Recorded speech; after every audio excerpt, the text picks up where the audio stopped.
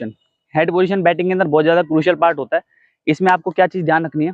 जो आपको, जब आप स्टांस लोगे, आपने पैर शोल्डर पे पार्ट खोल लिए, उसके बाद जब आप बैटिंग में स्टांस लोगे तो जो आपके चिन्ह है, ये थोड़ा सा शोल्डर की तरफ़ आएगा और हल्का सा शोल्डर आपका खुलेगा, ये।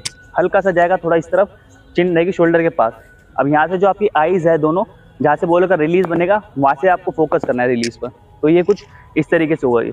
अब यहाँ से आप एक आइडियल हेड पोजीशन आपकी है आप बिल्कुल सामने फोकस कर पा रहे हो जहाँ से बोल के रिलीज़ होने वाली है, उसके हिसाब से आप मूवमेंट कर सकते हो।